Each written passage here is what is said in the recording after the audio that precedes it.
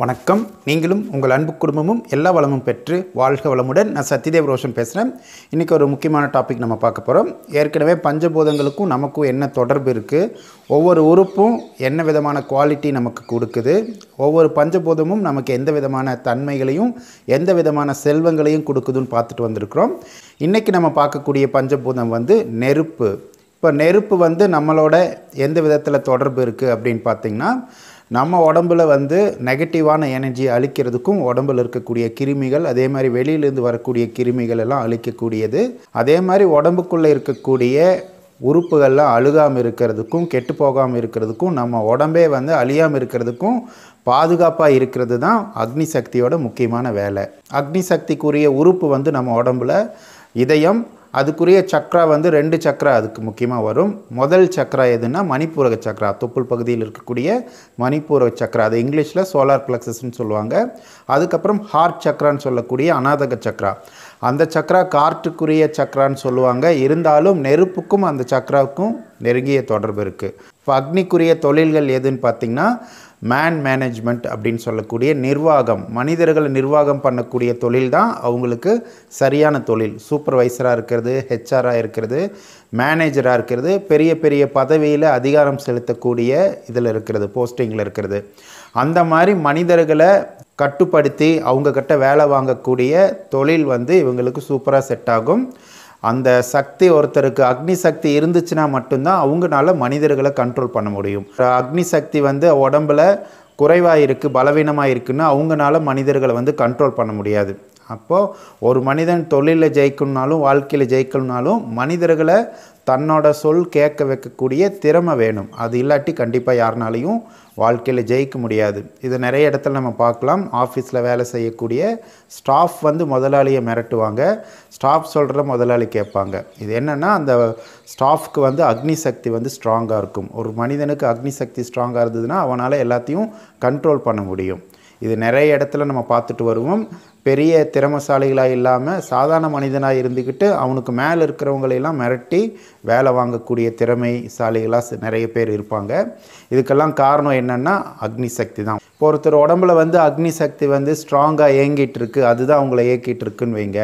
அவங்க வந்து இந்த மாதிரி தொழிலில் தான் இருக்கணும். இன்னொருத்தருக்கு கீழே வேலை செஞ்சுட்டு இருந்தாங்கன்னா அது வந்து அவங்களுக்கு செட் ஆகாது. அவங்களால நிம்மதியாக அங்கே வேலை செய்ய முடியாது. மேலே மாறிட்டே இருப்பாங்க. முதலாளி கூட வேலை செய்கிறவங்க யாராவது சின்ன ஏதாவது அவங்கள மனசு உறுத்துற மாதிரி அவங்கள ஈகோ டச் பண்ணுற மாதிரி பேசிட்டாங்கன்னா அவங்களால தாங்க முடியாது. அந்த வேலையை விட்டு நின்றுவாங்க. இது மாதிரி நிறைய பேர் பார்த்துருப்பீங்க. வேலை செட் ஆகாமல் ஒரு மாதத்துக்கு ஒரு தடவை மூணு மாதத்துக்கு ஒரு தடவை வேலை மாற்றிட்டே இருப்பாங்க. ஓகேங்களா? அது மாதிரியும் சில பேர் என்ன பண்ணுவாங்கன்னா அங்கே ஆஃபீஸ்லேயும் பாஸ் திட்டினாரும் கூட வேலை செய்கிறவங்க டார்ச்சர் பண்ணாலும் அவங்கள எதிர்த்து பேச முடியாமல் அங்கே பேசினா வேலை போயிருன்னு சொல்லிட்டு அமைதியாக இருந்துக்கிட்டு அந்த கோபத்தை வந்து வீட்டில் வந்து காட்டுவாங்க. அந்த மாதிரி ஆளுகளையும் நிறைய பார்த்துருப்போம். இப்போ ஒரு மனிதனுக்கு அக்னி சக்தி வந்து நல்லா குவாலிட்டியாக இருந்துச்சுன்னா அந்த மனிதர் சுற்றி உள்ள மனிதர்களையெல்லாம் கவர்ந்து இழுப்பார். அவங்க எங்கே போனாலும் அந்த மனிதனை நோக்கி மற்றவங்கெல்லாம் வருவாங்க.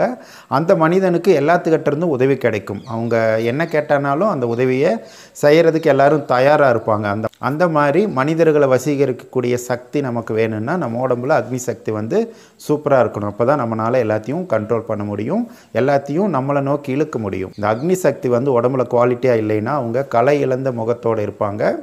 அவங்க மேலே யாருக்கும் பெரிய ஈர்ப்பு இருக்காது. அதனால் அவங்க வந்து எல்லாத்தாலையும் ஈர்க்கப்படாமல் இருக்கிறதுனால வாழ்க்கையில் ஒரு பெரிய சக்ஸஸ் இருக்காது பெரிய சந்தோஷம் இருக்காது. ஓகேங்களா இதை விட ரொம்ப முக்கியமானது என்னென்னா அக்னி சக்தி நல்லா இருந்ததுனா தான் அன்பு நல்லா இருக்கும். இதயம் வந்து அக்னி சக்தியால் இயக்கப்படக்கூடிய உறுப்புங்கிறனால இதயம் ஒரு மனிதருக்கு நல்லா இருந்தால் தான் அவங்களால அன்பை வெளிப்படுத்த முடியும். நிறைய பேர் பார்த்திங்கன்னா அன்பை உள்ளுக்குள்ளேயே வச்சுக்குவாங்க வெளிப்படுத்த தெரியாது. இதுக்கெல்லாம் காரணம் என்னென்னா அந்த மனிதருக்குள்ள அக்னி சக்தி வந்து ரொம்ப வீக்காக இருக்குன்னு அர்த்தம். இதயம் நல்லா இருந்துச்சுன்னா போதும். அவன் வந்து எல்லாத்துக்கிட்டையும் அன்பாக நடந்துக்குவான். அவங்ககிட்டையும் மற்றவங்க எல்லாருமே அன்பாக நடந்துக்குவாங்க. அந்த மனிதன் பேசக்கூடிய வார்த்தைகள் மற்றவங்களுக்கு சந்தோஷத்தையும் ஒரு அற்புதமான மனநிலையும் கொடுக்கும். அதனால் அந்த மனிதனை எல்லாத்துக்குமே பிடிக்க ஆரம்பிச்சிடும் இப்போது இந்த அக்னி சக்தி வீக் ஆகிட்டு போச்சுன்னா கடுமையான வார்த்தைகளை பேசக்கூடிய மனிதனாக இருப்பான். மற்றவங்க மனசு ரொம்ப வேதனைப்படுத்தி உடச்சி போகிற மாதிரியான வார்த்தைகள் அந்த மனிதனுக்குள்ளேருந்து வெளிப்படும். இதயத்தை ஸ்ட்ராங் பண்ணுறதுக்கான ஒரு அற்புதமான முத்திரையை நான் சொல்கிறேன் ரெண்டு கைகளையும் இப்படி மடக்கிக்கோங்க. நாலு விரலை இப்படி உள்ளங்கையில் மடக்கிக்கிட்டு பெருவிரலை மட்டும் ரெண்டு பெருவிரலை இப்படி இணைச்சிக்கோங்க. இந்த மாதிரி வச்சுக்கோங்க. ஹார்ட்டுக்கு நேராக இப்படி வச்சுக்கோங்க. இந்த மாதிரி வச்சுக்கிட்டு இதுக்குரிய மந்திரம் இருக்குது அந்த மந்திரத்தை சொல்லுங்கள் ஓம் சிவய நம. ஓம் சிவய நமன்னு சொல்லிவிட்டு உங்களால் எவ்வளோ நேரம் சொல்ல முடியுமோ அவ்வளோ நேரம் சொல்லுங்கள் இந்த முத்திரையை அஞ்சு நிமிஷத்துலேருந்து இருபது நிமிஷம் வரைக்கும் வச்சிங்கன்னா உங்கள் ஹார்ட் நல்லாயிருக்கும். உடம்புல வந்து அக்னி சக்தி வந்து பர்ஃபெக்டாக இருக்கும். உடம்புல வந்து அக்னி சக்தி அதிகமானாலும் குறைவானாலும் நம்ம உடம்புவே ரொம்ப மோசமானதாக மாறிடும் நிறைய வியாதிகள் வர்றதுக்கு உடம்புல அக்னி சக்தி அதிகமாக இருக்கிறதுனால தான் வரும்.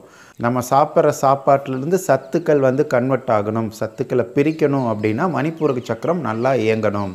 அது நல்லா இயங்குச்சுன்னா தான் ஜீரண மண்டலம் வந்து ரொம்ப ஸ்ட்ராங்காக இருக்கும். மணிப்பூரக சக்கரா வீக்காக இருந்துச்சுன்னா அவ்வளோதான் நம்ம உடம்புல அக்னி சக்தி தாறுமாறாக இயங்க ஆரம்பிக்கும். ரொம்ப கோபக்காரங்களாகவும் ரொம்ப எமோஷ்னலாகவும் மாறிடுவோம். நமக்கு ஒரு ஆட்டிடியூடே வந்து சேஞ்ச் ஆயிரும் ஓகேங்களா அந்த மணிப்பூரக சக்கரா வந்து நல்லா இயங்குச்சுன்னா தான் உடம்புக்கு சக்தி கிடைக்கும் உடம்பு பலமாகவும் நம்ம ஆரோக்கியமாகவும் மன உறுதியோடவும் வாழணும்னா கண்டிப்பாக மணிப்பூரக சக்கரா வந்து நல்லா ஸ்ட்ராங்காக இருக்கணும். இப்போ அந்த சக்கராவை ஸ்ட்ராங் பண்ணுறதுக்கான ஒரு எளிய பயிற்சி நம்ம பார்க்கலாம். கைகளை நல்லா இது மாதிரி தேய்ச்சிட்டு தொப்புள் பகுதியில் இப்படி வச்சு கிளாக் வைஸில் இப்படி மூணு முறையும் ஆன்டி கிளாக் வைஸில் மூணு முறையும் மறுபடியும் கிளாக் வைஸில் மூணு முறையும் இப்படி சுற்றி விடுங்க. சுற்றி விட்டுக்கிட்டு ரெண்டு கைகளையும் இப்படி வச்சுக்கோங்க. தொப்புள் பகுதி மேலே இப்படி வச்சுக்கிட்டு நல்லா மூச்சை இழுங்க. நல்லா மூச்சை உள்ளே இழுக்கும்போது வயிற்று பகுதி வந்து வெளியில் வரணும். ஓகேங்களா? வெளியில் வந்ததுக்கப்புறம் மூச்சை வெளியிடணும். வாய் வழியாக வெளி- வெளியிடணும். வாய் வழியாக மூச்சை வெளியிடும்போது வயிற்றை நல்லா லைட்டாக அமுத்தணும். அமுத்திட்டு அந்த வாய் வழியாக காற்றை வந்து ஒரே ஃப்ளோவில் நம்ம விடணும். இதை எப்படி பண்ணுறதுன்னு பார்க்கலாம். மூச்சை நம்ம இழுக்கிறோம். கைகளை வந்து தொப்புள் பகுதியில் வச்சுக்கிட்டுக்கிறோம்.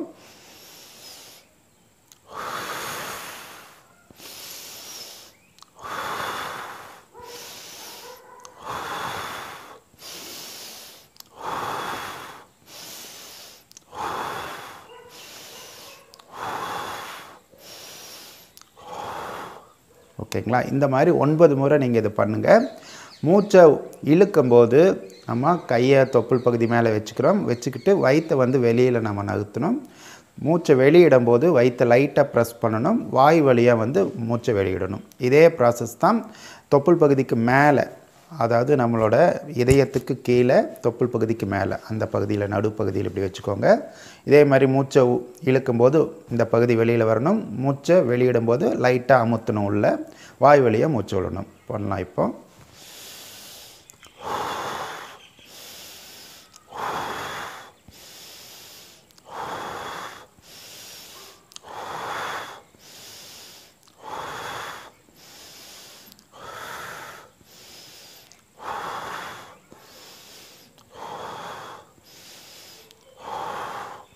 இந்த மாதிரி ஒன்பது முறை பண்ணதுக்கப்புறம் நம்ம நெஞ்சுக்குழி பகுதி மேலே இப்படி கை வச்சுக்கிறோம். ரெண்டு கை அந்த மாதிரி வச்சுக்கிட்டு இதே ப்ராசஸ் தான். மூச்சை நல்லா உள்ளே இழுக்கிறோம். உள்ளே இழுக்கும்போது இந்த பகுதி முன்ன வரணும் மூச்சை வெளியிடும்போது லைட்டாக இந்த சைடு அமுத்தணும். வாய் வழியாக மூச்சு விடுறோம். இந்த மாதிரி ஒன்பது முறை நம்ம பண்ண போகிறோம்